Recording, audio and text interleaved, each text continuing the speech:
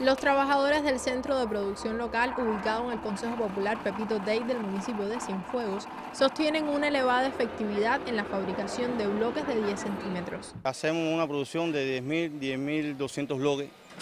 Eh, esto es una producción diaria, diaria. Esto es de lunes, de lunes a sábado. No podemos hacer más por el tema del espacio. Si tuviese un espacio, pudiéramos hacer un volumen de 2.000 hasta 3.000 bloques. Los tres empleados en plantilla experimentan una mejora salarial con respecto a escenarios anteriores y existen planes de expansión. Un cambio eh, de centro de costo a colectivo laboral.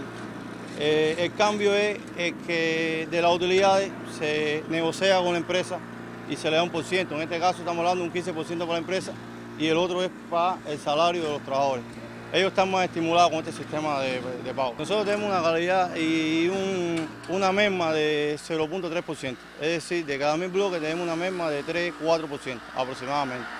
El bloque está certificado, tenemos bloques certificados ya que sale para un programa de la vivienda, de la agricultura también, se hacen muchas instalaciones, almacenes, cochigueras, casas para los, para los mismos trabajadores.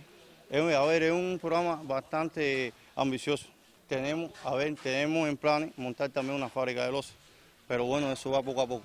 A este ejemplo se une la procesadora de madera ubicada en las áreas de la antigua carpintería del Central Pepito Day. Con un amplio catálogo ofrece variados servicios a la población. Ambas mini industrias diversifican la producción local. Roxana Martínez, Notisur.